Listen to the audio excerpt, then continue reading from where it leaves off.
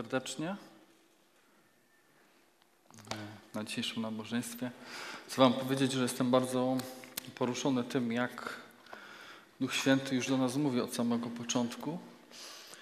I jestem tym bardziej poruszony tym, co już słyszeliśmy, bo słowo, na którym chcę się dzisiaj podzielić, zatytułowałem Gotowość na przyjście Pana.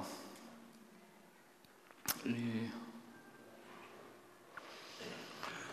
Szczerze mówiąc, trochę mnie przeraża to, jak Bóg precyzyjnie mówi do nas. Może przeraża mnie bardziej to, co On mówi do nas i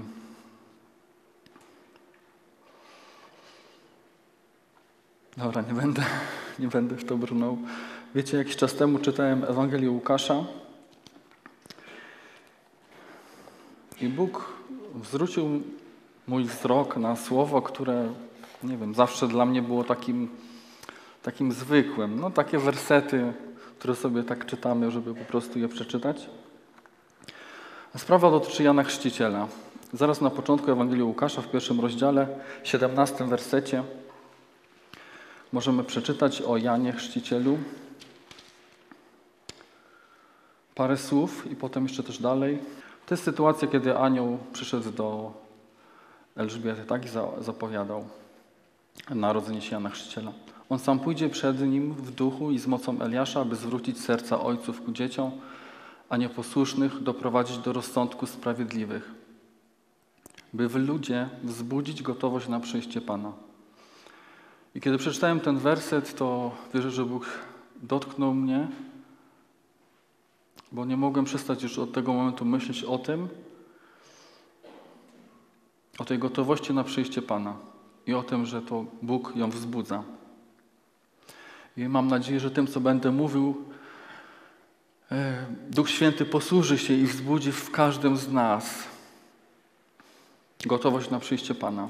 Chcę mówić o tej gotowości dzisiaj i o tym, co fragmenty mówiące o Janie Chrzcicielu mówią nam na temat tego, jak my się mamy przygotować na przyjście Pana. Kiedy y, pojedziemy wzrokiem trochę dalej w Ewangelii Łukasza, też w pierwszym rozdziale 76 od 76 jest proroctwo Zachariasza dotyczące Jana Chrzciciela. Tam czytamy, a Ty dziecko będziesz nazwane prorokiem Najwyższego, gdy, gdyż pójdziesz przed Panem, aby przygotować Jego drogi, dać Jego ludowi poznanie zbawienia w przebaczeniu Jego grzechów, ze względu na wielkie miłosierdzie naszego Boga, dzięki któremu zajaśnieje nam jutrzenka z wysokości, by objawić się tym, którzy tkwią w ciemności i w cieniu śmierci i skierować nasze drogi nasze nogi na drogę pokoju. I chcę przeczytać jeszcze jeden e, fragment, który mówi o Janie Chrzcicielu. To jest cytat proroctwa Izajasza, a mamy go w Ewangelii Łukasza w trzecim rozdziale od czwartego wersetu. Tak też zostało napisane w księdze proroka Izajasza. Głos wołającego na pustyni, przygotujcie drogę Pana, wyprostujcie Jego ścieżki. Każdy wąwóz niech będzie wypełniony, każda góra lub wzgórze zrównane, drogi krzywe wyprostowane, wyboiste zaś wygładzone. Każda zaś istota zobaczy zbawienie przygotowane przez Boga. Mamy tutaj trzy teksty, które mówią nam, zapowiadają pojawienie się Jana Chrzciciela, tego, który przygotował, przygotowywał drogę na przyjście w tamtym momencie Pana Jezusa na ziemię. I wiecie, kiedy myślałem o tych wersetach, zrozumiałem, że Bóg do mnie mówi, że musimy, że ja muszę się przygotować na przyjście Pana. A mówię Wam to oczywiście dlatego, bo każdy z nas musi się przygotować. I bardzo dużo o tym myślę ostatnio i po prostu jestem e, porażony w takim pozytywny sposób, ale jestem zadziwiony tym, co już dzisiaj tu zostało powiedziane przez usta siostry i przez Marka, tak? Niesamowity wstęp mam do kazania. Dziękuję Bogu. Wiecie, kiedy patrzyłem na te fragmenty, głównie na te proroctwa, to co mówił Zachariasz i Izajasz o Janie Chrzcicielu, to widzę tam kilka elementów, które możemy potraktować jako takie, wskazówki na to, co my mamy robić, żeby przygotować się na przyjście Pana. taka, ja tu widzę taką instrukcję, takich kilka punktów chciałbym Wam pokazać, które mówią o tym, co każdy z nas wie, że powinien zrobić, żeby się przygotować na przyjście Pana. Ja później te punkty rozwinę, ale widzę tu takie, takie punkty, które mówią o tym, że mamy przygotować drogi, wyprostować drogi.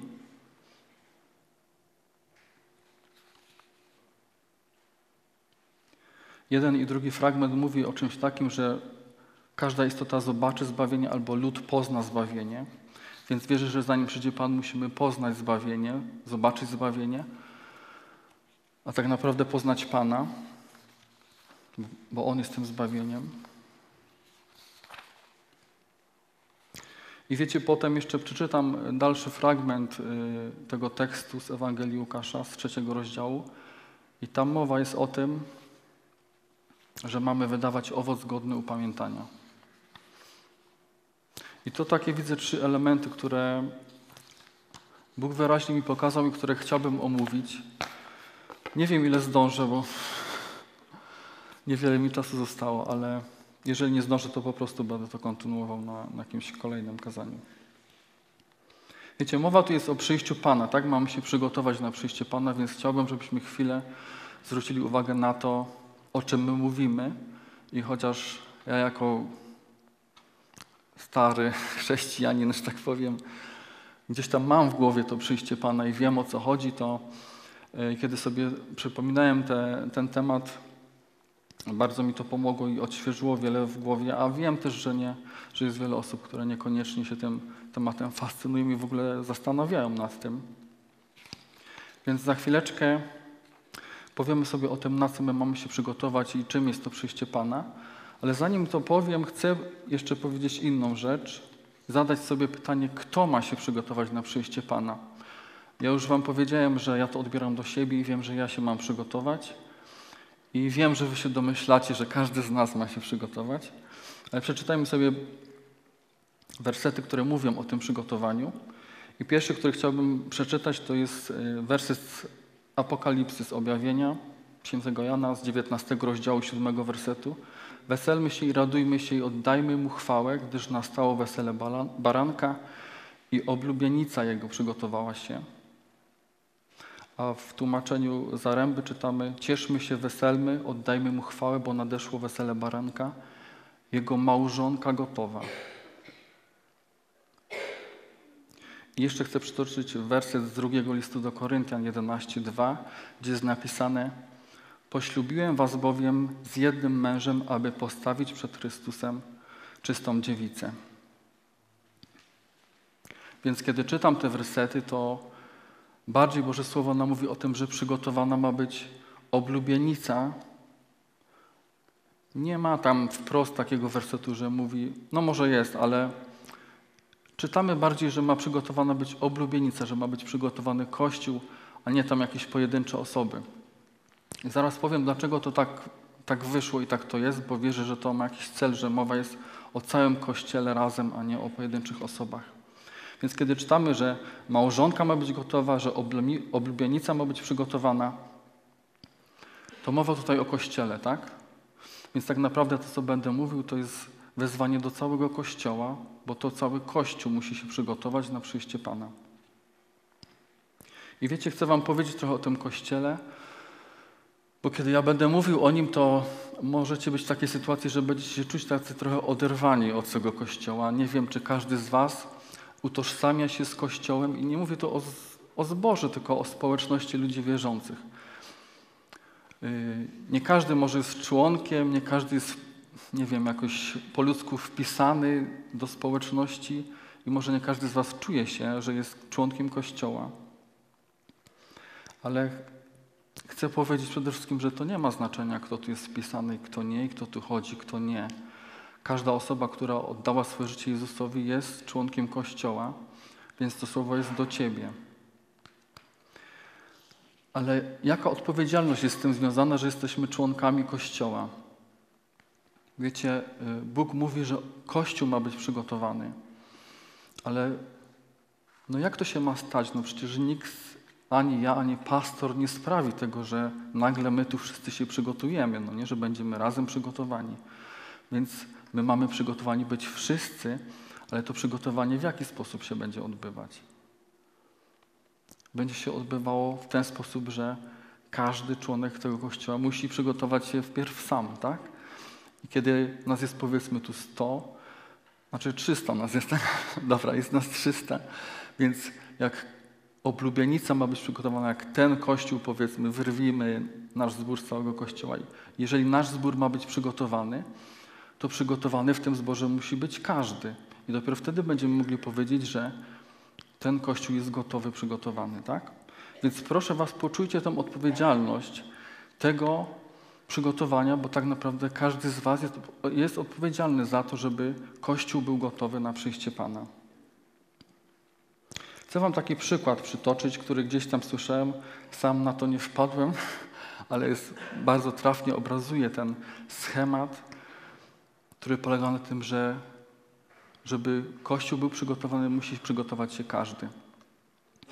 I wiecie, y, przykład polega na tym, że jest orkiestra symfoniczna i w tej orkiestrze symfonicznej, nie znam się na tym, nie wiem ile tam osób standardowo, ile muzyków gra. I my zwykle znamy ten temat tylko z tej strony, że jeżeli byliśmy y, w filharmonii, no to siedzieliśmy i słuchaliśmy pięknej muzyki, którą wykonywało może tam, nie wiem, z 30 osób 50. I, I, to jest jakby ten efekt, tak? Ten, ta orkiestra, ten orkiestra, tak to się mówi, nie zespół, jest przygotowana, jak oni grają, no to jest piękna sprawa i można tego słuchać i wszyscy mają z tego przyjemność. Więc jeżeli jest koncert i wypadnie on idealnie, to możemy powiedzieć, że orkiestra była przygotowana. I to, ta orkiestra to jesteśmy my, Kościół, tak? Ale wiecie, owszem, były próby, ale tak naprawdę przygotowanie do koncertu polega na tym, że każdy muzyk w swoim pokoju czy w swojej sali, nie wiem jak to tam wygląda, bierze swój instrument i sam przygotowuje się, sam musi wziąć nuty i rozpracować wpierw wszystko, co tam jest, sam musi się przygotować, tak? Na stole i on tego nie może robić z kimś, nie może tego oddać komuś, bo ktoś inny już gra na innym instrumencie, musi się przygotować w inny sposób. I przygotowanie orkiestry każdego muzyka zaczyna się w ten sposób, że ten muzyk sam ze swoim instrumentem się przygotowuje. I to może wyglądać w ten sposób, że może to się odbywać, nie wiem, w szkole muzycznej czy w filharmonii. I jeżeli są tam poszczególne sale i w każdej sali ktoś tam się przygotowuje, to kiedy tam wejdziemy i będziemy tego słuchać, to będzie to nie do zniesienia, bo będzie to kakofonia po prostu, bo każdy będzie wtedy grał coś innego i, i w różnym momencie będzie, tak? Ale oni się tam przygotowują, każdy na solo, po to, żeby wyjść potem na scenę i kiedy oni są wszyscy przygotowani, kiedy wyjdą i zagrają, to wtedy to jest przyjemne. Także ten obraz nam pokazuje, że przygotowanie Kościoła polega na tym, że każdy z nas musi zacząć od siebie i samego siebie wpierw przygotować i dopiero wtedy będziemy mogli powiedzieć, że my jesteśmy gotowi jako Kościół. Wiecie, to, to o czym czytaliśmy, ten fragment o Janie Chrzcicielu mówi o tym, że On przygotowywał ludzi na przyjście Pana Jezusa i to było takie pierwsze przygotowanie i też wiem, że to było pierwsze przyjście Pana Jezusa na ziemię. Ja zaraz, zaraz powiem o innym przyjściu Pana Jezusa, bo też kto jest, to czyta Boże Słowo, wie, że Pan Jezus przyjdzie ponownie, więc funkcjonuje e, w naszej, naszych głowach gdzieś takie pojęcie powtórnego przyjścia Pana Jezusa albo drugiego przyjścia. Ale chciałbym też, żebyśmy w związku z tym, co powiedziałem teraz o, tej, o tym przygotowaniu muzyków, patrzyli na to, co ja mówię w ten sposób, że ja sam wpierw jestem odpowiedzialny za, za przygotowanie samego siebie.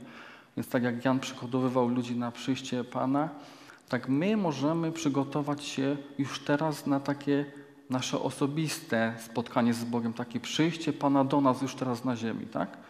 Mówię tutaj o relacji, o której mówimy już bardzo długo, o, o takim osobistym spotkaniu z Bogiem. I kiedy jesteś w takiej sytuacji, że w, że wiesz, że z Bogiem się nie spotkałeś jeszcze w twarzą w twarz, yy, albo nie wiem, nigdy nie słyszałeś Jego głosu i, i jesteś przekonany, że jeszcze Go nie spotkałeś tak, jak możesz Go spotkać, to możesz też wziąć pod uwagę to, co mówię, te punkty, bo one też mogą pomóc nam w przygotowaniu się do takiego spotkania tu na ziemi już z Bogiem osobistego w naszej komorze. Wiecie, możemy na tą gotowość też popatrzeć tak trochę indywidualnie w tym kontekście i chciałbym przeczytać tutaj werset y, z Ewangelii Mateusza 25:10. Już tutaj brat Marek wspomniał o dziesięciu pannach, słyszymy o nich często. Ale tam jest takie fajne, y, fajne słowo. Gdy więc udały się na zakupy, zjawił się Pan młody. I tutaj jest panny, które były gotowe, weszły z nim na wesele i drzwi zostały zamknięte. Więc takie słowo, no tu nie ma żadnego ale i nie ma innej alternatywy, tak? Więc mamy wprost, nam Boże Słowo mówi, tuż indywidualnie, że wejdą na wesele tylko osoby gotowe, tak? Więc w momencie, kiedy przyjdzie Pan Jezus, my musimy już być gotowi. Więc zastanówcie się, ile mamy czasu na to, żeby się przygotować. Bo e, jak zaczniemy roztrząsać ten temat, to wierzcie mi, to nie jest kwestia jednego dnia. Dla mnie przynajmniej nie. Łukasz 12:40 i wy bądźcie gotowi, gdyż Syn Człowieczy przyjdzie o godzinie, której się nie domyślacie. Już to dzisiaj słyszeliśmy w słowie proroczym. Więc jako Kościół się przygotowujemy, ale przygotowujemy się w ten sposób, że przygotowujemy się sami. Mając tą świadomość, że jeżeli nie będziemy gotowi, to nie wejdziemy na wesele. Jeżeli oblubienica nie będzie gotowa, to też nie zostanie zaproszona tak, na wesele. Znaczy, no wiecie, że to nie będzie takiej sytuacji, że nie będzie w ogóle oblubienicy, bo zawsze tam jakaś część kościoła będzie przygotowana. Ale naszym zmartwieniem powinno być, czy my będziemy w tym momencie częścią tej oblubienicy, tej przygotowanej. Więc podsumowując ten, ten etap y, zwiastowania, chcę powiedzieć, że zanim Kościół będzie gotowy, każdy z nas musi się przygotować, więc każdy członek Kościoła musi się przygotować sam, być gotowy, bo na tym to polega, że przygotowanie Kościoła to przygotowanie każdego z nas, każdego członka tego Kościoła. Teraz chciałbym powiedzieć, na co mamy się przygotować. Już wspomniałem, że, że chodzi tu o przyjście Pana i w Bożym Słowie i w naszej świadomości, myślę, wielu z nas funkcjonuje y, to, że Pan Jezus przyszedł raz i że przyjdzie powtórnie. Wiemy to stąd, że On po prostu sam, będąc tu na ziemi 2000 lat temu, powiedział to, że przyjdzie znów. Więc myślę, że to y, jakby nie muszę tego specjalnie udowadniać, wszyscy, wszyscy w to wierzymy. Więc pierwsze przyjście już miało miejsce, przygotowywał to przyjście Jan Chrzciciel, Pan Jezus przyszedł, był na ziemi, umarł za nasze grzechy, stał się ofiarą. Dzięki temu mamy dostęp do tronu łaski, nasze grzechy zostały wybaczone. I można by teraz tu dużo mówić o tym, co Pan Jezus zrobił, będąc tu na ziemi. Jesteśmy tego świadomi i, często o tym mówimy. Więc nie będę tutaj się zagłębiał. Więc pierwsze przyjście już było, my czekamy teraz na drugie, bo Pan Jezus kiedy odchodził przed w niebo wstąpieniem powiedział, że idzie nam przygotować miejsce i że powtórnie po nas przyjdzie, więc elementem naszej wiary w to, co my wierzymy, jest to, że my wierzymy, że Pan Jezus przyjdzie ponownie i zabierze swój Kościół, zabierze właśnie tą oblubienicę. A dzisiaj skupmy się na tym, że On zabierze, zapamiętajcie, że zabierze tylko tych przygotowanych, tak? I chcemy pomyśleć o tym, jak się przygotować i na co się mamy przygotować. To, na co się przygotowujemy, to na powtórne przyjście Pana to drugie, a to drugie przyjście Pana, różnie jest nazywane w Bożym Słowie, to tak naprawdę, nie wiem, można powiedzieć, że to będzie koniec świata, że to będzie koniec wszystkiego tutaj, co tu jest na ziemi. Będzie to już koniec ziemi, tak? Koniec czasu łaski, czyli koniec y, takiego czasu, kiedy my możemy jeszcze podjąć decyzję i na coś się w ogóle zdecydować. Chciałbym, żebyśmy przeczytali parę, parę fragmentów mówiących o, o tym końcu, zwracając uwagę na to, że Boże Słowo używa, przynajmniej ta część grecka Nowego Testamentu, Nowy Testament używa trzech słów w greckim języku mówiących o przyjściu Pana. I pierwsze słowo to jest paruzja. Pewnie słyszeliście to słowo. I oryginalnie w greckim ono oznaczało przyjście jakiejś ważnej osoby, zwykle przy przyjazd władcy do miasta, jakiegoś króla, tak, który przybył. Więc było to ważny moment, bo ktoś ważny po prostu przybył, przyjechał. Więc ta paruzja ogólnie oznacza w kontekście Biblii przyjście, przybycie, pojawienie się Pana Jezusa na ziemi. I słowo paruzja użyte jest w Ewangelii Mateusza 24 od 29. Ja teraz przeczytam dużo wersetów tekstów mówiących o przyjściu Pana. Tego jest sporo, ale ja chcę, żebyśmy to usłyszeli, bo ono, to są ważne rzeczy, tak? Mówiące o tym, na co my się w ogóle przygotowujemy. Więc Ewangelia Mateusza 24 od 29. A zaraz po ucisku tych dni słońce uległo, ulegnie zaćmieniu i księżyc straci swój blask. Gwiazdy będą spadać z nieba i moce nieba nawiedzi wstrząs. Wtedy na niebie ukaże się znak Syna Człowieczego, a ludzie wszystkich plemion ziemi będą bić się w piersi. Zobaczą bowiem Syna Człowieczego, przychodzącego na obłokach nieba z wielką mocą i chwałą. Przeczytam kolejno, potem powiem, y, co widzę w tych wersetach. Drugie słowo mówiące, używane do określenia przyjścia Pana powtórnego to jest apokalipsa, już tak spolszczając.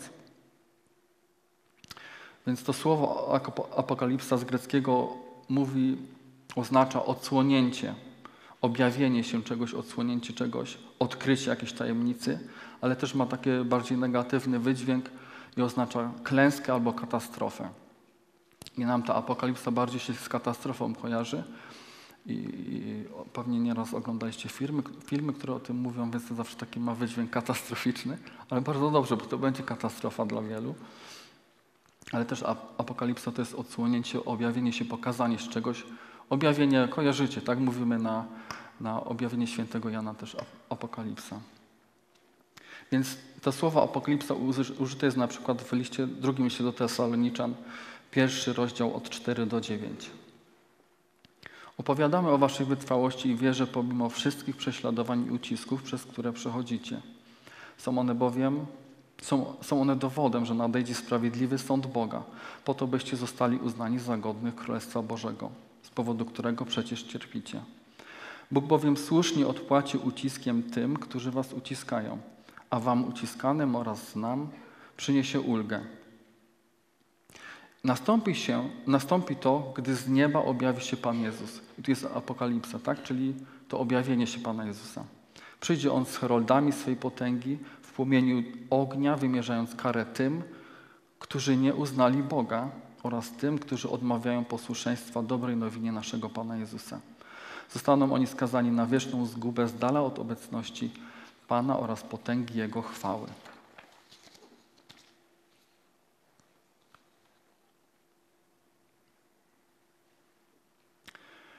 Kiedy popatrzyłem na tą ten fragment z Ewangelii Mateusza i ten fragment z, Tesaloniczan, to widzę tu już elementy wspólne, które mówią nam coś o tym przyjściu Pana.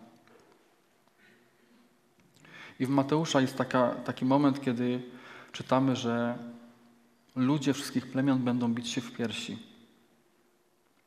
A w Tesaloniczan czytamy, że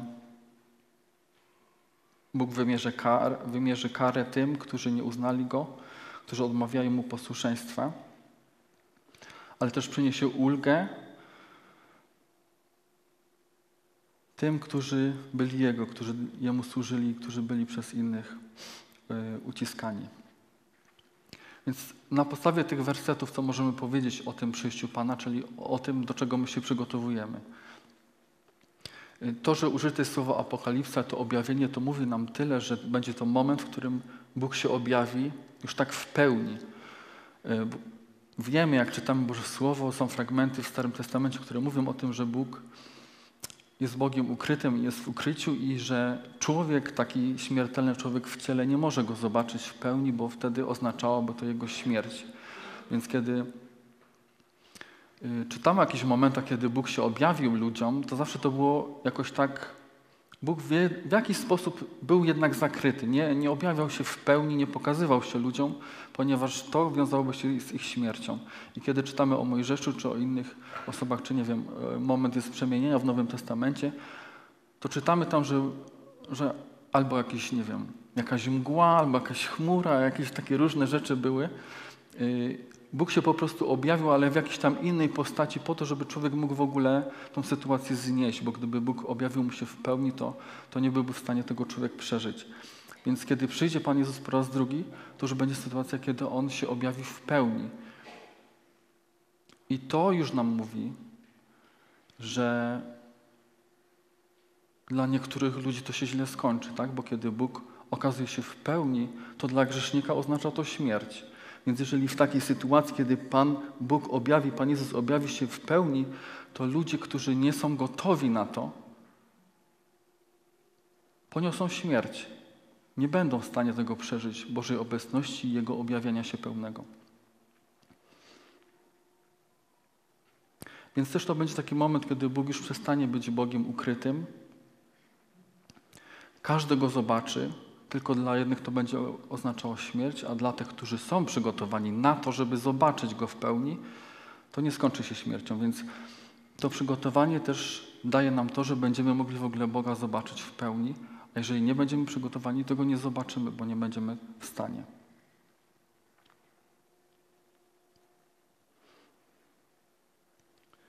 Z tego wersetu z Tesaloniczan i jeszcze z innego widzimy, że dla przygotowanych ludzi będzie to dzień, w którym Bóg przyniesie im ulgę. Objawienie 21, 3 i 4 czytam. I usłyszałem donośny głos z tronu mówiący oto przybytek Boga między ludźmi i będzie mieszkał z nimi, a oni będą ludem Jego, a On sam będzie z nimi. I otrze wszelką łzę z oczu ich i śmierci już nie będzie, ani smutku, ani krzyku, ani mozołu już nie będzie, albowiem pierwsze rzeczy przeminęły. To i Tesaloniczan, który wcześniej czytaliśmy, mówi o tym, że dla osób przygotowanych przyjście powtórne Pana to będzie bardzo miły moment, przyjemny, ponieważ to będzie moment, kiedy zostaniemy już uwolnieni od siebie, od naszej cielesnej natury, od tego wszystkiego, co było dla nas ciężarem tu na ziemi i z czym się zmagaliśmy. Więc jeżeli będziemy przygotowani i Pan Jezus przyjdzie, to nie dość, że Go zobaczymy w pełni, to jeszcze pozbędziemy się wszystkiego, co nas tutaj trapi i to będzie dla nas cudowny moment. I myślę, że samo, samo to jest takim fajnym argumentem na to, żeby się postarać, żeby być przygotowanym.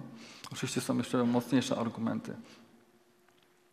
Więc dla nas przygotowanych, jeżeli zakładamy, że jesteśmy przygotowani oczywiście, będzie to ulga, wielka ulga i będziemy wiedzieć, że to jest moment, kiedy kończy się już ziemia, świat, nasze życie ziemskie, idziemy do nieba i tam będzie wszystko zupełnie inaczej. Bez smutku, krzyku, bólu, grzechu i tak dalej.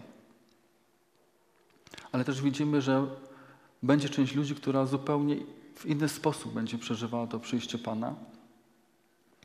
I mowa tu jest o ludziach nieprzygotowanych. Przeczytam teraz fragment z e, Księgi Sofoniasza, pierwszy rozdział, czternasty werset.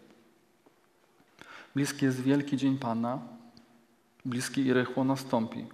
Odgłos dnia Pana jest straszny. Najśmielsi będą w nim wołać o ratunek. Dniem gniewu ten dzień, dniem troski i ucisku, dniem zniszczenia i spustoszenia, dniem ciemności i mroku, dniem chmur i gęstych ciemności, dniem trąby i okrzyków wojny przeciw miastom niedostępnym i przeciw basztom wyniosłym. I udręcze człowieka. Będą chodzić jak niewidomi, gdyż zgrzeszyli przeciwko Panu. I krew, ich krew będzie rozbryzgana jak proch, ich wnętrzności rozrzucone jak odchody. Ani ich srebra, ani ich złoto nie zdoła ich uratować w dniu gniewu Pana. Ogień Jego żarliwości pochłonie całą ziemię. O jak przerażającą zagłodę sprawi On wszystkim Jego mieszkańcom. Zupełnie odwrotny opis niż ten, który był w objawieniu 21, a to mowa jest o tym samym wydarzeniu, o przyjściu Pana. I to, co ja czytam z Sofoniasza, do kogo to, do kogo to jest i o kim to jest? To jest opis tego, co stanie się ludziom, co ludzie będą przeżywać, którzy zgrzeszyli przeciwko Panu, tak? Udręcze człowieka będą chodzić jak niewidomi, gdyż zgrzeszyli przeciwko Panu. Więc to jest fragment mówiący o tym, co się będzie działo z ludźmi tymi nieprzygotowanymi. Myślę, że kolejny argument dla nas, że, że naprawdę trzeba się przygotować, bo to będzie straszne. Nie chcę za bardzo się roz, rozwodzić nad tymi strasznymi rzeczami, bo wierzę, że każdy z nas chce być gotowy i chce pójść do nieba. Więc już kończąc ten, te straszne opisy, przeczytam Wam jeszcze fragment, bo oto nadchodzi dzień, który spala jak piec. Więc jeżeli będziesz nieprzygotowanym, będziesz tym grzesznikiem, to kiedy Pan Bóg się objawi w pełni, to spłoniesz. Wtedy wszyscy zuchwali i wszyscy niegodziwi będą niczym słoma. Pochłonie ich ten nadchodzący dzień, mówi Pan zastępów, także nie zostanie im korzeń ani gałązka, lecz dla was, bojących się mego imienia, bym powiedział dla was przygotowanych, wzejdzie słońce sprawiedliwości z uzdrowieniem na swoich skrzydłach. Będziecie wychodzić po skokach jak cielęta z obory i podepczecie bezbożnych. Będą oni jak proch pod waszymi stopami w tym dniu, który ja przygotowuję, mówi Pan zastępów. Więc w Malachiaszu znowu widzimy dwie wersje tego, co ludzie będą przeżywać w momencie, kiedy przyjdzie Pan po raz kolejny. Z jednej strony niegodziwcy spłoną, a z drugiej sprawiedliwi będą się cieszyć. Wierzę, że tak jak my nie potrafimy się tutaj cieszyć. Jest jeszcze trzecie słowo mówiące, opisujące przyjście Pana w języku greckim, to jest epifania, ale nie będę jej rozdrabniał, bo ona jest bardzo podobna do apokalipsy. Oznacza ukazanie się, objawienie się, pokazanie się kogoś. Więc na co my się przygotować mamy? Na przyjście Pana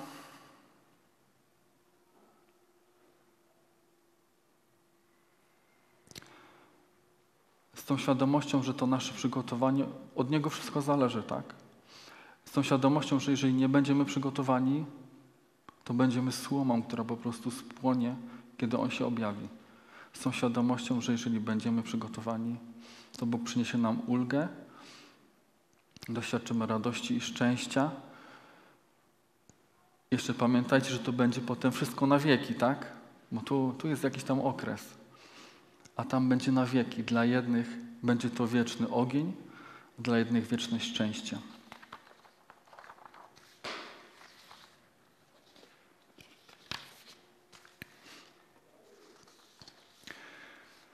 Mówiłem Wam wcześniej, że ten fragment, który mówi o niechrzcicielu, pokazuje nam kilka takich punktów, kilka elementów, które mówią o tym, jak my się mamy przygotować.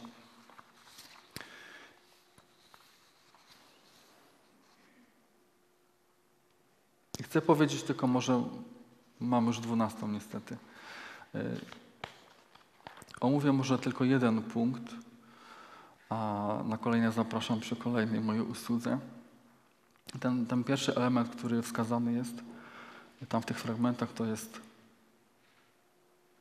prostowanie drogi. Prostujcie ścieżki, prostujcie drogi, po których chodzicie. I wiecie, kiedy myślałem o tym,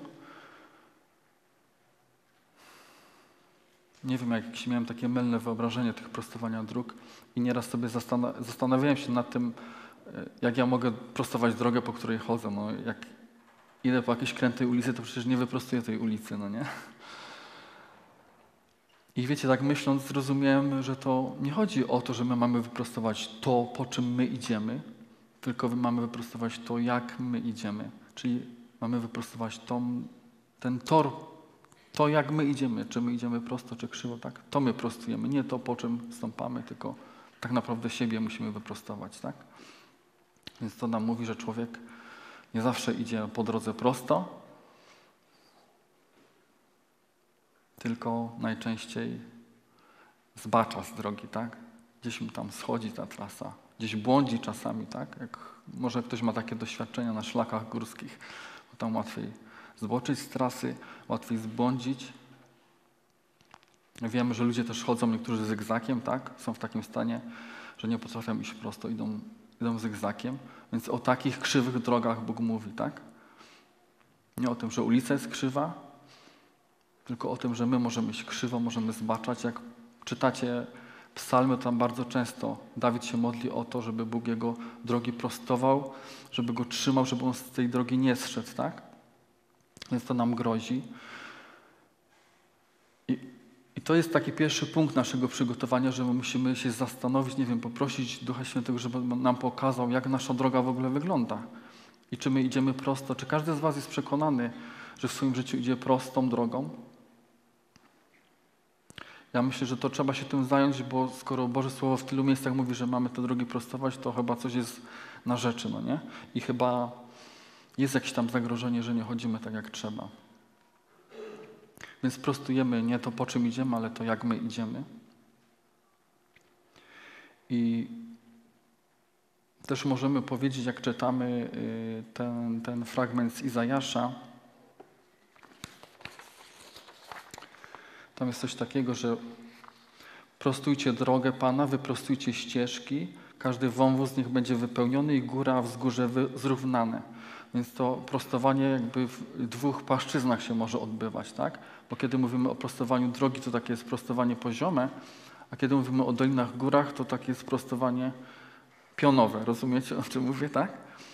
Więc nie tylko mamy wyprostować się na boki, tak? Nie mamy schodzić w bok, ale też prostowanie polega na tym, że mamy iść po równym, a nie przez góry i doliny, góry i doliny. Mówię wam coś góry i doliny? Nie wiem, czy, bo wiecie, możemy tkwić w takiej sytuacji i wiemy wszyscy, że przechodzimy doświadczenia i mamy je przechodzić i wiemy, że Bóg też nam je daje po to, żeby nas kształtować, ale takim efektem, Bożym zamierzeniem nie jest to, żebyśmy chodzili, ciągle żyli i nasz, nasze życie duchowe tak wyglądało, że ciągle góra, dół, góra, dół. Bóg chce, żebyśmy byli na stałym poziomie, na równo, tak? Więc nie tylko chodzi o to, żeby nie zbaczać, ale też, żeby nie chodzić w kółko po górach i dolinach. I to mówi Izajasz, tak? Mamy wyprostować ścieżki, ale też każda góra niech będzie zrównana, niech to będzie równe. Więc możemy w ten sposób sobie uświadomić, że nasze przygotowanie ma polegać na tym, żeby mamy dojść do momentu, kiedy pójdziemy prosto, nie będziemy zbaczać, ale też będziemy żyli w ten sposób, że nie będziemy przeżywać dołków, depresji i zmierzać się z problemami, które są dla nas taką górą, że my jej nie jesteśmy w stanie przejść.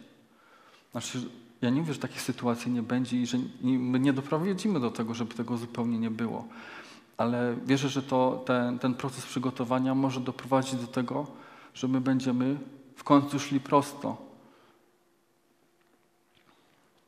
Wiecie, przeczytam piątą Mojżeszową 9,16.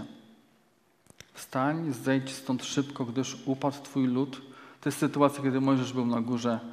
Izraelici sobie już, już mieli problem. Oni, wiecie, nie weszli na górę, nie zobaczyli prawdziwego Boga i funkcjonowali ciągle na poziomie, że dla nich Bóg był po prostu tym wyobrażeniem, tym, co oni zobaczyli w Egipcie, więc sobie takiego Boga zrobili. I Bóg mówi do, do Mojżesza, zejdź stąd szybko, gdyż upadł Twój lud, który wyprowadziłeś z Egiptu. Szybko zboczyli z drogi, którą im wytyczyłem, zrobili sobie odlew.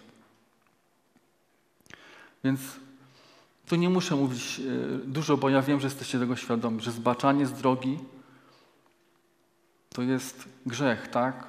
To jest w tym przypadku, nie wiem, bałwochwalstwo.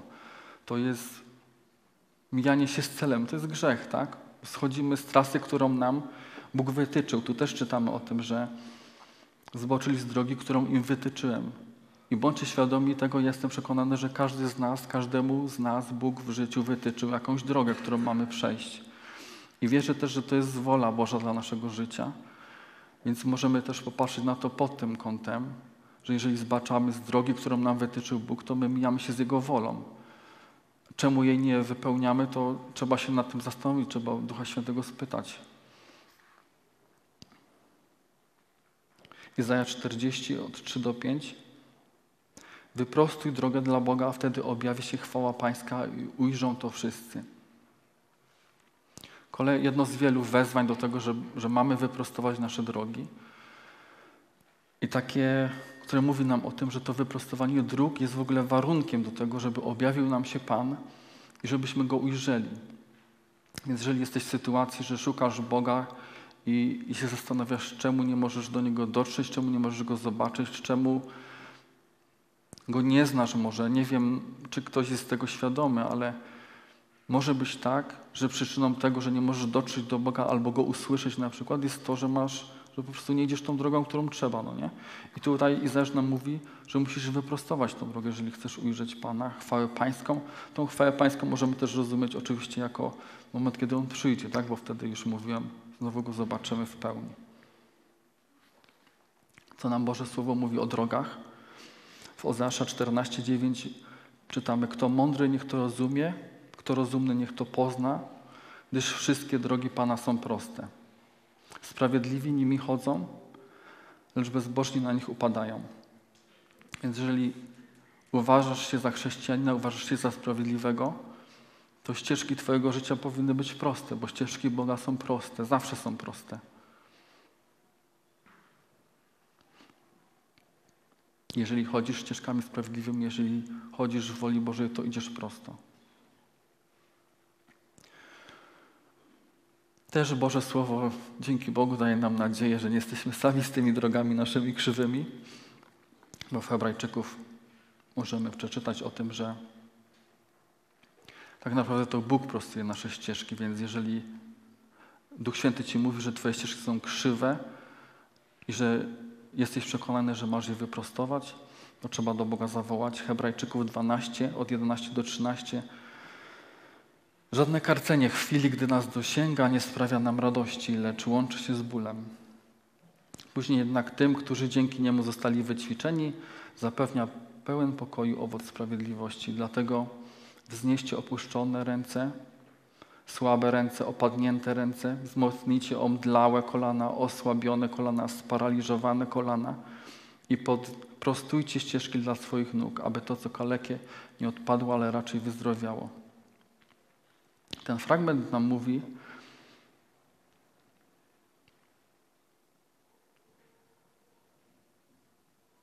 że to prostowanie przez Boga naszych ścieżek polega na czym? Żadne karcenie nie sprawia nam radości. Więc Bóg, kiedy widzi, że my mamy, chodzimy krętymi drogami, to co On robi? Karci nas. I to nie jest przyjemne, nie sprawia nam radości, nieraz łączy się z bólem.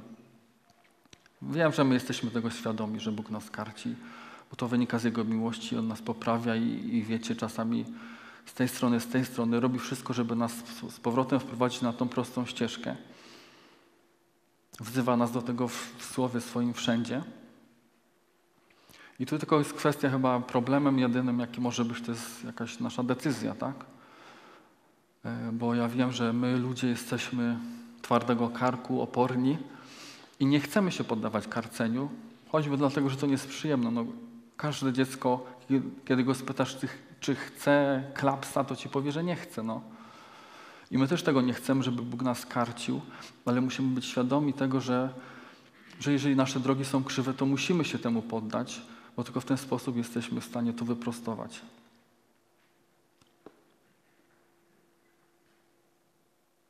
Przypowieści 15:10 mówią: Surowa kara zbaczającym z drogi. Kto nienawidzi napomnienia, umrze. Fragment, który mówi o tym, że musisz poddać się karceniu, bo jeżeli tego nie zrobisz, możesz zdecydować, że nie. No nie powiesz Bogu, Boże, nie słucham Cię, nie będę, nie interesują mnie Twoje uwagi, będę sobie żył po swojemu. Ale jeżeli nie poddasz się karceniu, napomnieniu, umrzesz. Pierwsza Królewska 8,36 mówi Kiedy powstrzymasz niebo i nie będzie deszczu za to, że zgrzeszyli przeciw Tobie, lecz będą modlić się zwróceni ku temu miejscu, uwielbią Twoje imię i odwrócą się od swojego grzechu, bo ich upokorzyłeś. To Ty wysłuchaj na niebie i odpuść grzech Twoich sług i Twojego ludu Izraela, bo uczysz ich drogi właściwej, tej, którą powinni kroczyć.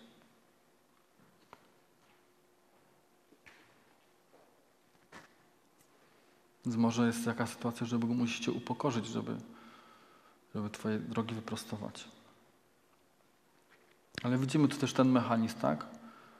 Że Ty ich, my grzeszymy, Bóg nas upokarza, ale potem wysłuchuje, odpuszcza grzech i nasze drogi prostuje.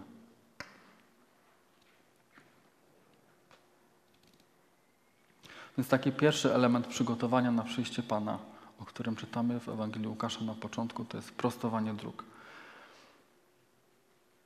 Do czego mogę zachęcić siebie i Was do, do tego, żebyśmy może w tym momencie skupili się chociaż na tych drogach, tak? Żebyśmy postarali się i poprosili Boga, żeby nam objawił w ogóle, czy my idziemy tą drogą, którą mamy iść. I chociaż Dawid wiemy, że był prawie ideałem, przynajmniej w pewnym momencie swojego życia, to widzimy w psalmach, że on ciągle o to prosi Boga. Bo my tacy jesteśmy, no, że po prostu jak tylko jest lepiej, to już zaraz skręcamy nie tam, gdzie trzeba. No nie? I, I w zasadzie myślę, że, że to przygotowanie, ten proces, który pewnie potrwa do samego przyjścia Pana Jezusa, będzie polegał na tym, że my musimy cały czas mieć świadomości, że to, że nasze drogi muszą być proste i musimy tego pilnować i tak jak Dawid prosić Boga, żeby On te drogi nasze prostował. Na kolejnym kazaniu, jeżeli będzie mi dane, to chciałbym powiedzieć Wam o tym poznaniu zbawienia i wydawaniu owocu godnego upamiętania. Ale jeszcze na zakończenie chciałbym powiedzieć, dlaczego mamy się przygotowywać. Kilka wersetów przytoczę, które może pomogą nam zrozumieć y, pewne kwestie lepiej. Wiecie, kiedy się czyta Boże Słowo, to yy, możemy przeczytać o tym, że ktoś może ujrzeć Królestwo i ktoś może wejść do Królestwa Bożego. Bo to ten koniec, to powtórne przyjście Pana Jezusa, to będzie moment, kiedy ludzie zbawieni, wszyscy będą mieć nadzieję na to, że wejdą do Królestwa. Ale Boże Słowo mówi też o tym, że, że jest taki moment, kiedy my widzimy to Królestwo, możemy je zobaczyć, ale to, że my zobaczymy Królestwo, nie oznacza od razu, że my do niego wejdziemy. I w Ewangelii Jana 3, od 3 do 5 czytamy coś takiego. Odpowiadając Jezus rzekł mu zaprawdę, zaprawdę powiadam Ci, jeśli się kto nie narodzi na nowo, nie może ujrzeć Królestwa Bożego. I tu jest mowa o tym, że możemy ujrzeć Królestwo Boże i dzieje się to wtedy, kiedy my oddajemy swoje życie Panu Jezusowi. To tak naprawdę jest taka sytuacja, kiedy Pan Jezus do nas przychodzi i swoim duchem nas ożywia, tak? I, I my wtedy stajemy się dzieckiem Bożym i zaczynamy być świadomi tego w ogóle, co się w rzeczywistości duchowej dzieje. I widzimy już wtedy to królestwo. Wiemy, że jest Bóg, wierzymy w Boga, w niebo i w to wszystko, o czym możemy czytać. I tu jest takie ryzyko, że możemy się zatrzymać na tym elemencie, że oddamy swoje życie Jezusowi, ujrzymy królestwo i na tym zostaniemy.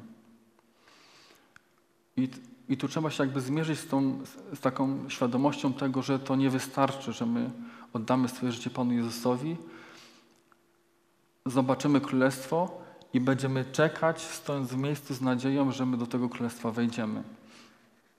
Dlaczego tak mówię? Y, przeczytam werset, który mówi o tym wejściu do Królestwa Bożego. I czytamy o tym Dzieje Apostolskie 14, 21, 22 utwierdzając duszę uczniów i zachęcając, aby trwali w wierze i mówiąc, że musimy przejść przez wiele ucisków, aby wejść do Królestwa Bożego. I to jest fragment Bożego Słowa, który mówi o wejściu do Królestwa Bożego. I tutaj to wejście nie bierze się stąd, że myśmy Bogu oddali życie, nie tylko z tego powodu, ale bierze się to stąd, wynika to z tego, że oni trwali w wierze, i przechodzili przez uciski. I tu trzeba by było powiedzieć kolejne kazanie o tym trwaniu w wierze, ale tak mówiąc krótko, mówię tylko o tym, że wiecie, znacie ten fragment z Filipian, gdzieś mam tu zapisane, Filipian 2,20, że my mamy z drżeniem sprawować zbawienie. Czyli to nie jest taka sytuacja, że my przychodzimy, nawracamy się, mówimy, Pan Jezus zostaje Twoim dzieckiem, oddaj Ci swoje życie, a potem sobie żyje jak se chce, tak? Tylko całe moje życie to jest czas, kiedy ja swoje zbawienie muszę sprawować, kiedy muszę trwać w wierze, kiedy muszę jeszcze wiele rzeczy robić, o których nie mam czasu powiedzieć. Ale Chcę przy okazji tego przygotowania Wam powiedzieć, że my przygotowujemy się na to, bo chcemy wejść do Królestwa Bożego, nie tylko je zobaczyć. Więc to, to nam mówi o tym, że musimy cały czas coś robić, cały czas sprawować, bo sprawowanie to jest taka stała czynność, tak? Na zakończenie dzisiejszego, dzisiejszej usługi. Mateusz 22 od 2 do 14.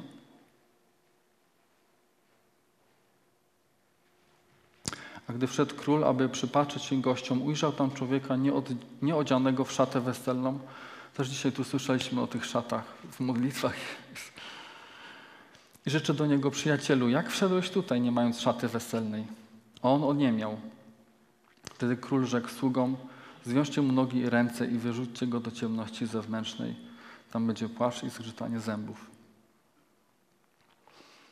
Czytam to, żeby Was zaprosić na, na kolejne moje usługi, bo też chcę powiedzieć Wam, też niesamowicie dotyka mnie, e, dotykają mnie słowa, które mówią o szacie weselnej, o tym, że oblubienica, zanim wejdzie na ucztę, też musi być przyodziana, tak?